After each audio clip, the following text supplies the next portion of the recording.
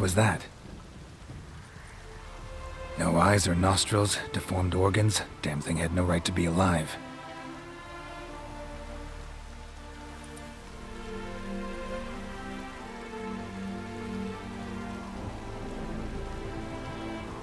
Well, philosophers do still debate what it means to be alive, exactly. Normally I'd be shocked, but not after what I just saw. Who are you two? Clearly not animals. Think of us as friends of the house.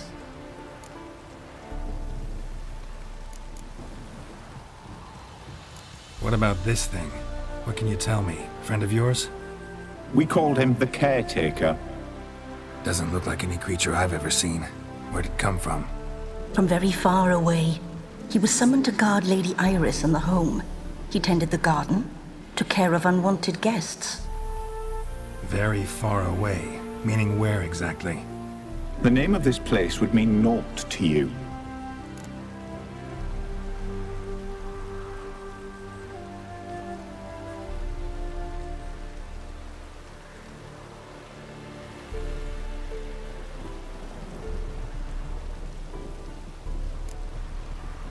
What's with the show?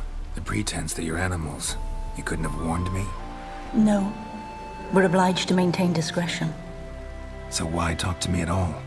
Why?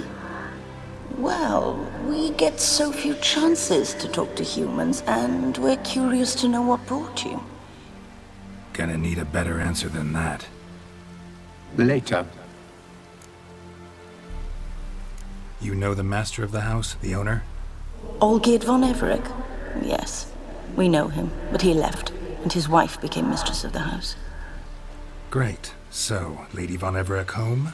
Could you announce me, say she has a guest? Why do you wish to see her? I'm here to get the violet rose Olgierd gave Iris just before he left. Iris is inside, in the bedchamber upstairs. Take his key. It opens the rear door. Guess I'll make my own introductions.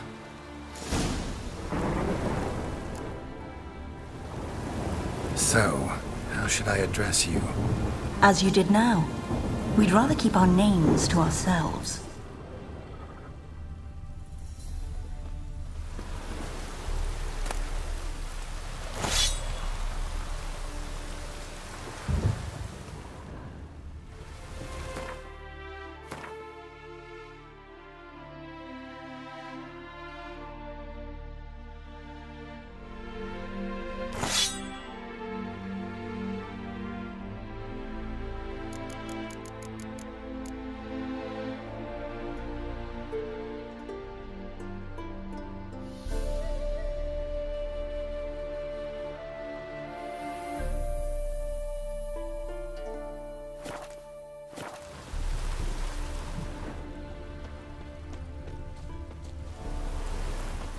Another intruder buried by the caretaker. Seeds and bulbs. Someone's still planting flowers.